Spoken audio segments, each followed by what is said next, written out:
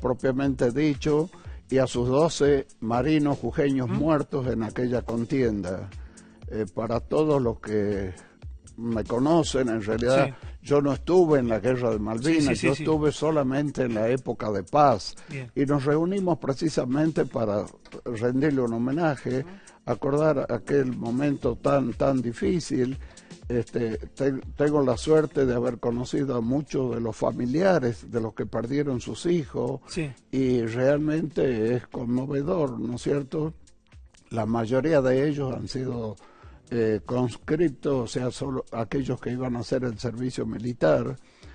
Este, bueno, hoy vamos a realizar el acto. ¿A dónde y a qué hora va a ser, Julio, el acto? A, día, a las 16 horas en la calle este, Facio y Yarabí, eh, cerca del regimiento. Sí, sí, sí.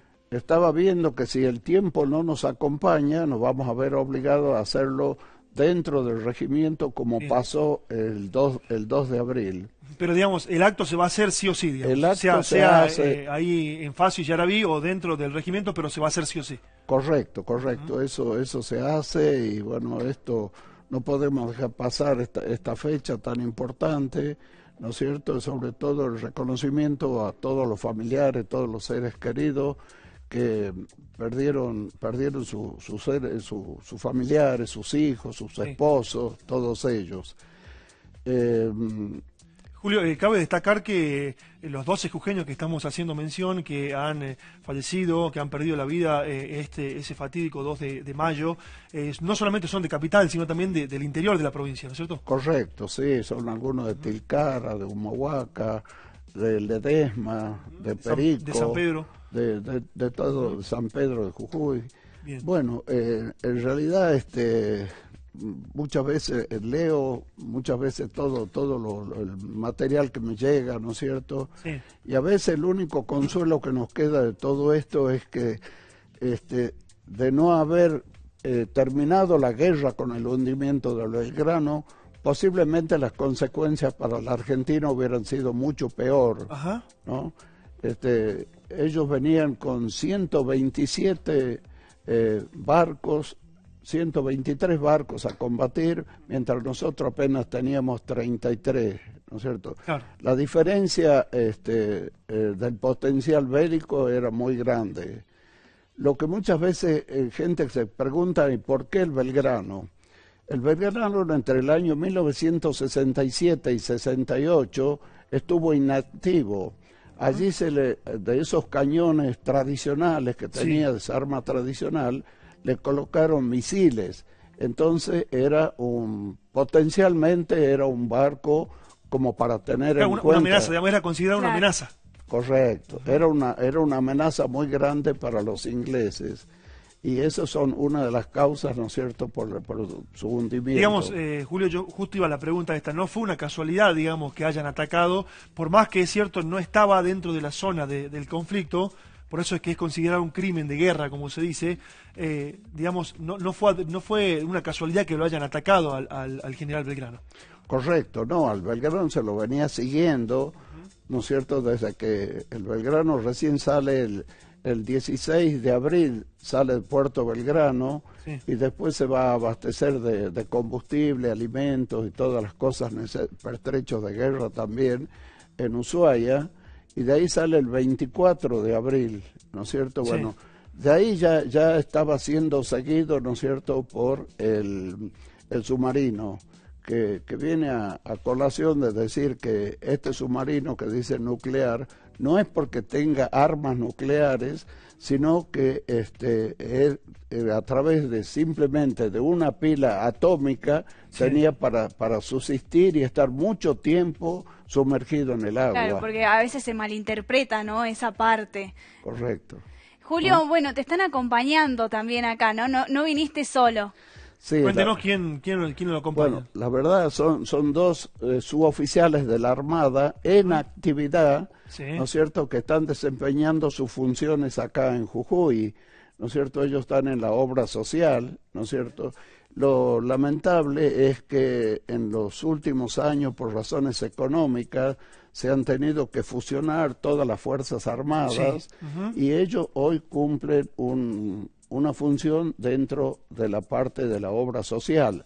La parte de, em, de digamos, para poder incorporarse a la Armada está directamente ahora dependiendo de Salta. Pero viene el caso, y por eso están ellos presentes acá, de que el viernes a 18 horas en el local de ATSA se va a realizar, ¿no es cierto?, una presentación para explicar muchas veces, más que nada, a los padres este, el sistema para incorporarlos y cuáles son este, todos los beneficios y cosas que tiene aparejado la incorporación a la Armada. ¿Mm? Bien, bien. Eh, Julio, volviendo al tema del 2 de mayo, volviendo al tema del hundimiento del, general Belgrano, eh, ¿cree que es una fecha que no se ha considerado eh, tan importante como lo que pasó en Malvinas, a pesar de que haya sido durante la guerra de Malvinas? Digo, ¿cree que hay que darle un poco más de importancia también a lo que pasó? Mire, eh, la importancia está en los hombres, ¿no es cierto? No tan solo en las legislaciones, de que para esto también este, hay una presentación acá, hay este, una posibilidad de que todo esto sea difundido en todas las escuelas y todo eso, pero eh, en realidad este, lo más importante lo hacen todos los que rodean a todo este entorno, ¿no es cierto? que es lo que nosotros tratamos de que eso no se pierda, reunirlos a todos los, familiares, ¿no es cierto? Pero también se hace difícil porque cada uno quiere rendirle un homenaje en su lugar, ¿no es cierto?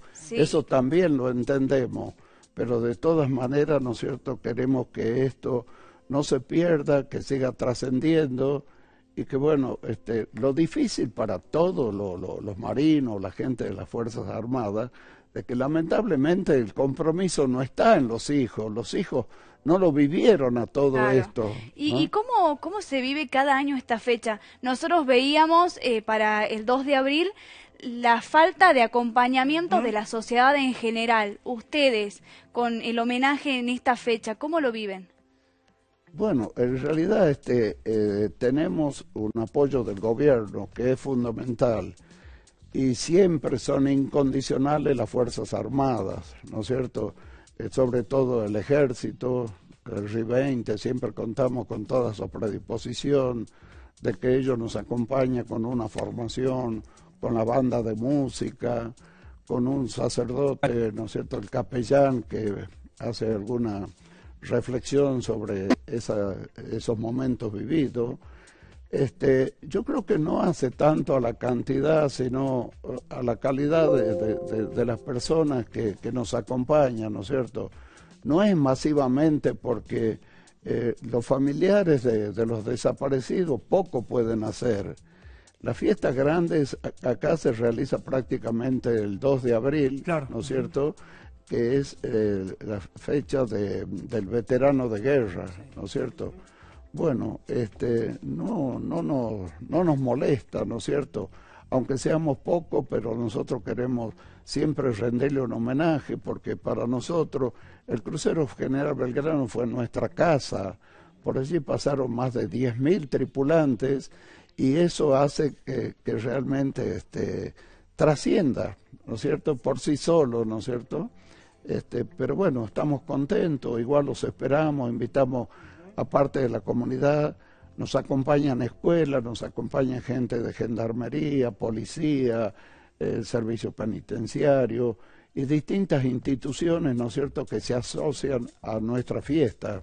Así que con eso nos damos por satisfechos, estamos contentos, este, y bueno, no así los familiares, que, esta, esta fecha debe ser un golpe duro para ellos, recordar que en su familia, en su seno, falta alguien.